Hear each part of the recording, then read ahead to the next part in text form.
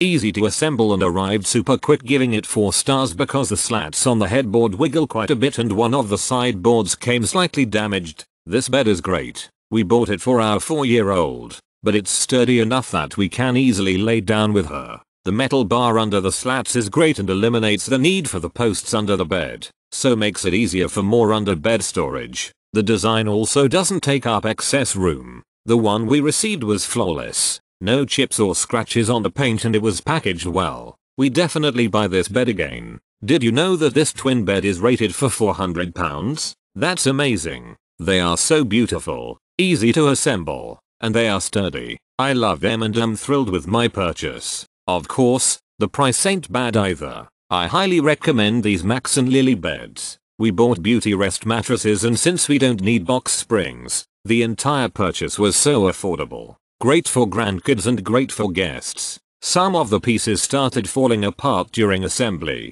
but once I got the bed together it was pretty cute. Assembly took 3 hours by myself. It was easy to put together and I love how all the screws and nails and end pieces have nothing to catch on. It took me about an hour from beginning to end. There are some pieces that were not pre-drilled, but the screws are wood screws so they go right in you don't need to pre-drill. I didn't use the drill as the screws are small and I didn't want to strip them. It seems solid and is exactly what I wanted.